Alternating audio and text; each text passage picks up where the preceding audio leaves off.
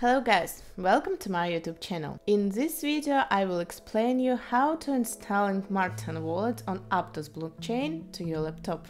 This is the simplest instruction for installing and replenishing a wallet on the Aptos blockchain, namely the Martian wallet. Or you can still say whatever you like, Martian. This wallet allows you to interact with application built on the Aptos blockchain swap tokens, receive tokens, and also interact with NFTs. If you installed and used MetaMask, then you will most likely catch deja vu, since everything here is very very similar.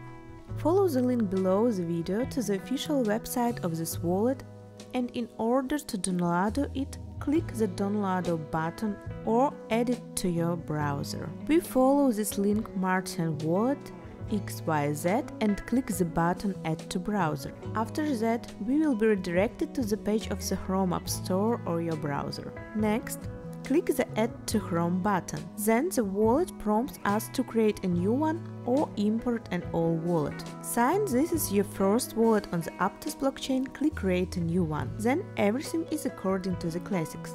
Create a password and repeat it. Below in the line, put a tick that we agree to the term and conditions of confidentiality. Next, click the Continue button.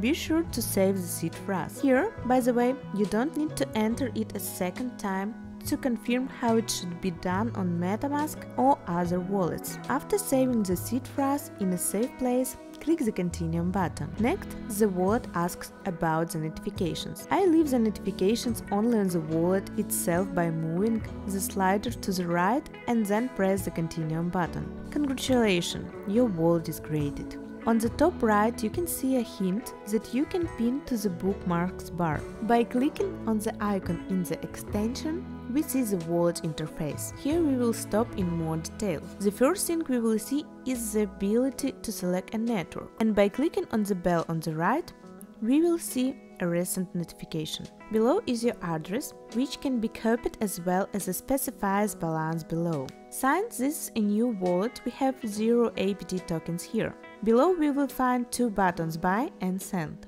And lower, the add token buttons is yellow, which means add tokens there are not in the list. The second section in the tab at the bottom is NFT. When we have them, they will appear in this tab. The next item is activity. Since the wallet is new, there is no activity here yet. The third selection shows applications, and in the later we can find the setting where you can see the seed phrase create or import a new wallet, and change the password and other basic things in a convenient interface. To transfer Aptos coins to the wallet, we copy the address of our wallet for this. Then we go to the any exchange where Aptos is listed. Let's take Binance. We buy the coin itself and then click send. We choose the network Aptos. We paste the address of our Martian wallet that we already copied. Below we indicated in the column the quantities that we want to send and press the confirm button. Then everything is classic, confirmation codes and the expectation of a transaction. That's all, everything is quite simple. There is a lot of useful video in my YouTube, so I advise you to watch them. Thank you and bye bye.